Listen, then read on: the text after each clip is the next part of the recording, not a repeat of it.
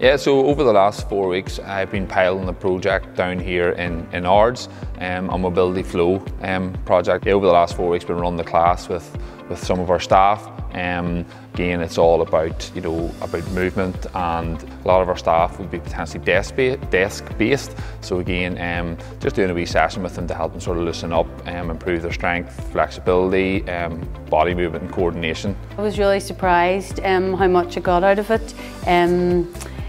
The, the stretches were the first lot of weeks that were tough to do and then even by the short time of four weeks I can feel myself so much more supple which which is always a positive. Benefits of exercise are, are really really well known, you know, in, increased mood, they're great for stress relief, um, for not just physical but there's, there's mental and cognitive benefits as well so encourage all staff to, to take part sorry, in the exercise classes that, that we run within the Trust. Our classes are, are hugely important and it's, it's really important that we get staff attending them.